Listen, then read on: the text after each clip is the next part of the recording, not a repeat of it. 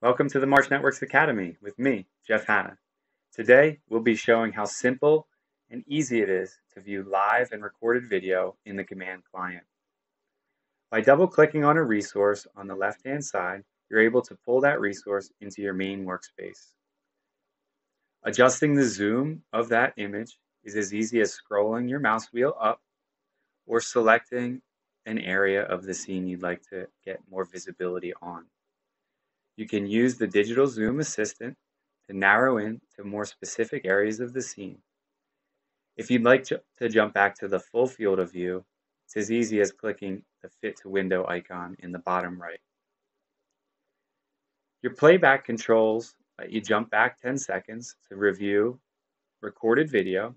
You can also use your calendar icon to jump to a specific date and time of the video you'd like to review.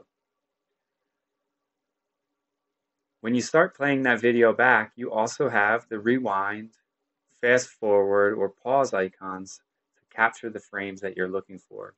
When you're paused, you're able to jump through that video frame by frame as well. In the playback control areas, we also have the ability to tag video evidence to be backed up to our cloud. You can take a snapshot of what you're seeing in the scene with this icon or start a video export. With a grid view open, each grid can be played back live or recorded video from any time.